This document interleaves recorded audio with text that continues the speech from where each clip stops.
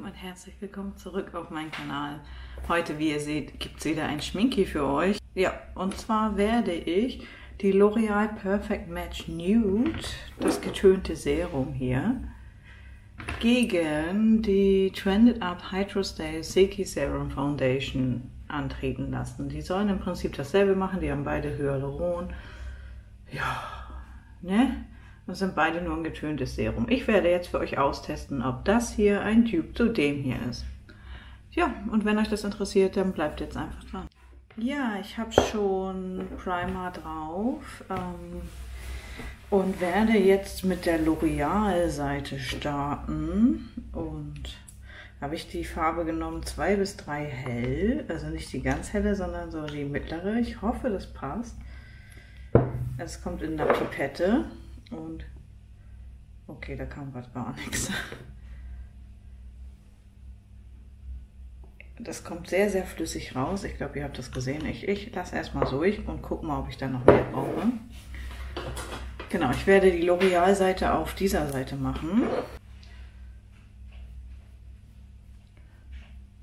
Es riecht sehr, sehr L'Oreal-like, sehr stark.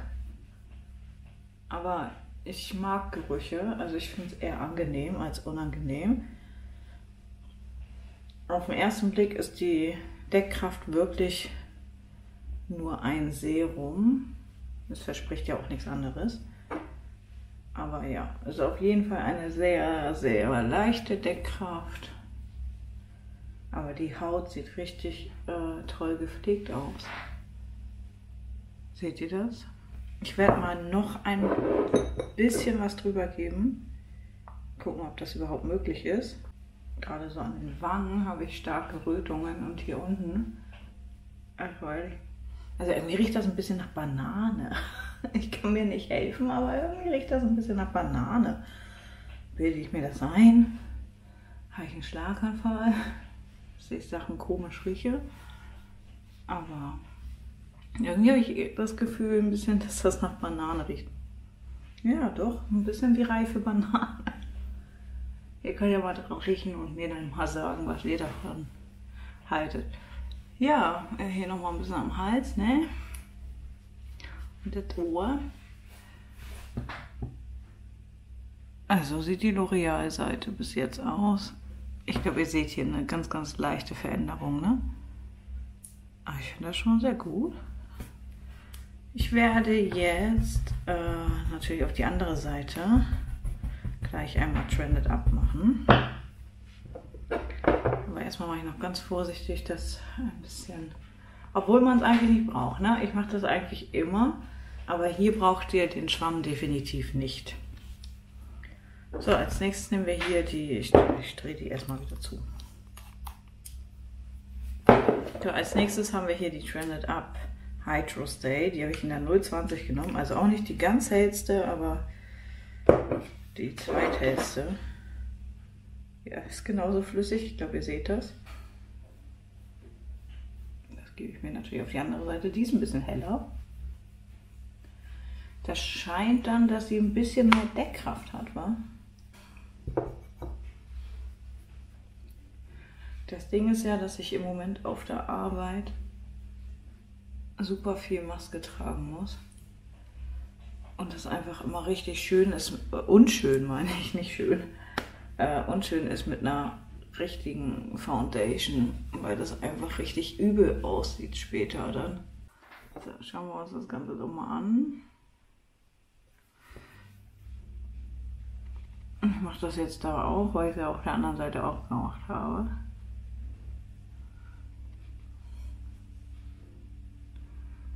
Also. Huch.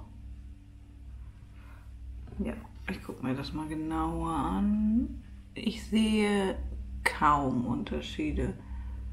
Ich finde das, ähm, nö, eigentlich sehe ich gar keinen Unterschied, wenn man mal ehrlich ist, weil ich sehe keinen Farbunterschied, ich sehe keinen Deckkraftunterschied. Meine Nase ist nicht schön, die ist aber niemals schön, okay? Da kann die nichts für. Ich zeige euch das auch mal näher. Also hier ist wie gesagt die L'Oreal-Seite. Und hier ist die Trended Up Seite. Achso, ja, bei L'Oreal habe ich ja auch zweimal gemacht, dann sollte ich das bei Trended Up auch machen, ne? Also ich gebe denen auch nochmal ein zweites. Also ich finde, Trended Up hat in der zweiten Schicht definitiv eine höhere Deckkraft. Bei L'Oreal hatte ich so das Gefühl, dass sich das nicht so wirklich aufbauen lässt. Was ja aber auch nicht Sinn der Sache ist eigentlich, ne? Mhm, mhm. So. Jetzt schaut euch das nochmal an. Natürlich gemein, weil hier auch mein Fenster ist. Aber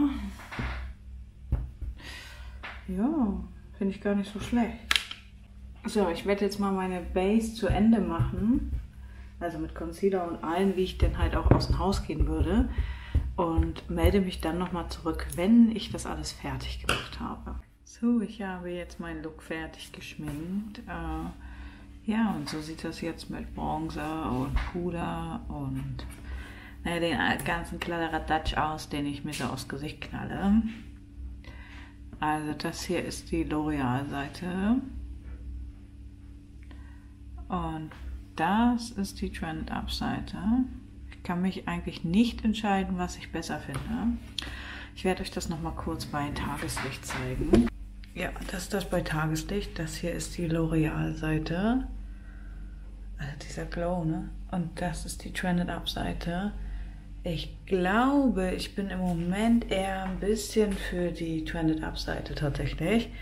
Aber wir werden sehen, was da jetzt in der, in, im Laufe des Tages so passiert, weil ich werde jetzt noch ein paar Erledigungen tätigen und so. Dabei muss ich bestimmt auch wieder eine Maske tragen, wie das halt heutzutage so ist. Und dann werden wir mal sehen, wie das danach aussieht. So, die ganzen Geschichten sind jetzt mindestens sieben, acht Stunden drauf.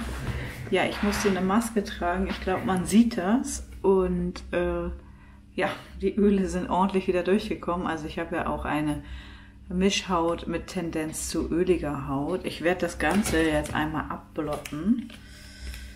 Und dann zeige ich euch das Ganze nochmal. Weil wenn ich jetzt Puder drüber machen würde, dann wäre das ja verfälscht. Deswegen blotten wir einmal das ein bisschen ab. Einmal ein bisschen ist gut. Vielleicht brauche ich auch zwei Tücher.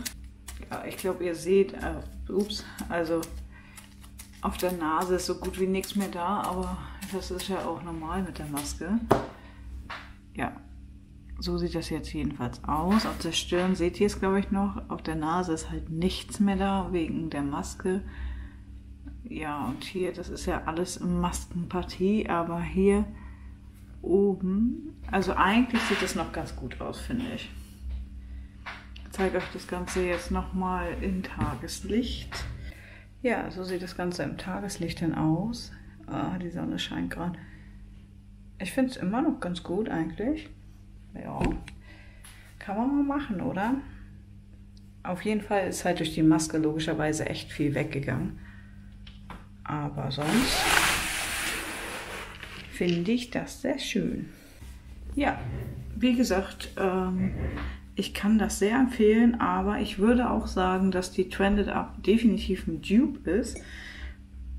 Und dann würde ich eher zu Trended Up greifen, weil das einfach günstiger ist. Aber ich finde beide sehr gut und werde sie auch beide natürlich noch mehrere Tage lang testen. Ja, ich kann sie euch auf jeden Fall empfehlen. Ich mache jetzt kurz noch mal ein bisschen hier wieder drauf. Da ist ja noch ein bisschen was am Pinsel dran weil ich da ja wirklich gar nichts mehr hatte gerade. Aber ich denke, ohne Maske würde das natürlich viel, viel besser funktionieren. Aber für so einen Alltag finde ich die alle mal okay und ähm, finde ich auf jeden Fall sehr, sehr gut im ersten Test. Also sowohl die Trended Up als auch die L'Oreal. Aber ich glaube, ich würde mich für die Trended Up entscheiden, weil erstens glaube ich, dass Trended Up cruelty-free ist und L'Oreal ist es definitiv nicht. Ähm, Punkt 1. Punkt 2 ist, die von L'Oreal kostet 14,95 Euro und die von Trended Up, glaube ich, weiß ich nicht, 6 oder 7 Euro. Irgendwie so in den Dreh. Ich blende es euch ein. Ähm, und zu guter Letzt macht sie einfach das gleiche wie die von L'Oreal. Und der Geruch von der L'Oreal ist, äh, also wirklich, das ist Banane. Ohne Scheiß, das riecht nach Banane. Und ich, ich mag den Geruch irgendwie nicht so. Und die Trended Up riecht halt, glaube ich, nach nichts. Jedenfalls habe ich es nicht wahrgenommen. Ja, Lieben, das war das Video. Wenn euch das gefallen hat, dann lasst dem Video gerne einen Daumen nach oben da. Folgt mir auch gerne hier auf YouTube, damit ihr keine weiteren Videos mehr verpasst. Und dann würde ich sagen, bis zum nächsten Mal. Tschüss.